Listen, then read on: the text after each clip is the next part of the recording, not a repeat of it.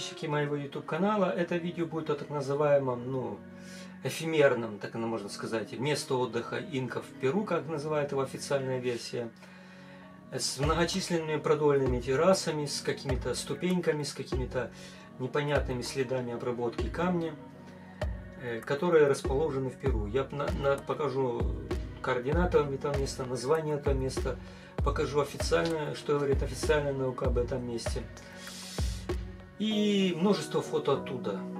Когда это было построено, вопрос, не, даже не заглядывая в Википедию, я могу сказать, что они там пишут 15 16, ой, 13-16 век, для всех этих построек приписывают все инкам, и как будто вот до этого времени никто ничего там вообще тишь да гладь. Это то же самое, как вот про постройки в Индии. Как будто до третьего века нашей эры, особенно там, наверное, до седьмого века нашей эры, в Индии никто ничего не строил. Никто.